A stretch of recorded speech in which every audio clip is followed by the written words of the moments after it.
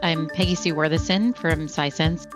We are a private company, venture capital funded, widely recognized by analysts, but what's more important than that is that we're widely recognized by our customers.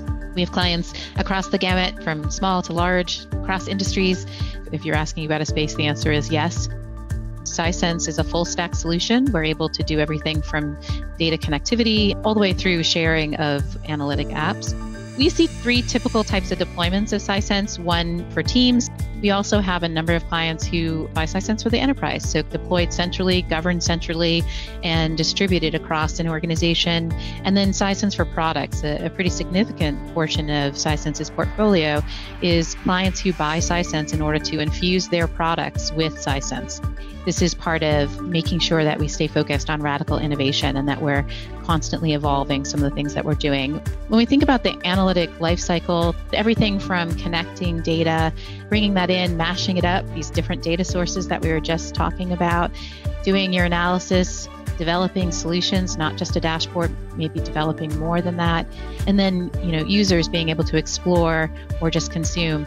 The important thing here for us when we think about the 90% and the 10%, right, is that we're switching to this idea of the builder, that 10%, and staying focused on how do we help them build things more powerfully and deliver capabilities to their end users where the end user gets more in the end, but isn't expected to do everything themselves, right? Kind of leaning away from that idea of self service for everyone.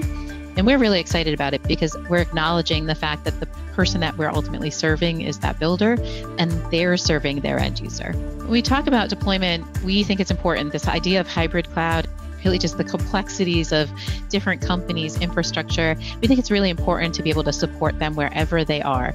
You know, we're pretty much infrastructure agnostic, right? And we want to remain that way. You know, the answer to all questions around infrastructure is yes broad range of connectors to just about any source you could imagine. And we partner with technology partners to help you get to those that we might not connect to natively. But as general themes, the ability to connect both to cloud data sources, on premise data sources, large data warehouses, small data sources. And what's important here is that we can connect to data sources both live and cached, and that is unique.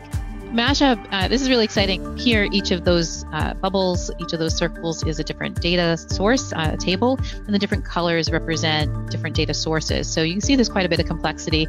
In the analysis space, something that I really love about Sisense is the environment that we give to the analysts.